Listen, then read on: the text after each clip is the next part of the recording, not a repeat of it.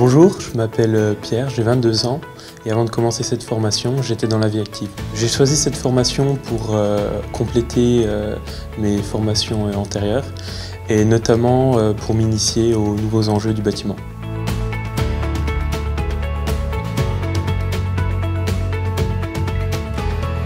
Les cours se déroulent de manière assez libre et les, formateurs sont à l'écoute des élèves on a une, assez grande liberté au niveau du, choix de nos projets d'études, ce qui nous permet de nous, impliquer au mieux.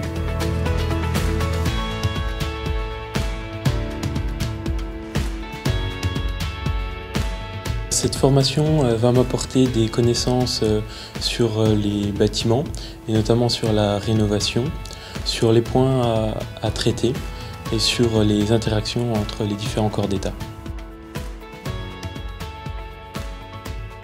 Cette formation va me permettre d'obtenir un diplôme qui facilitera ma recherche d'emploi.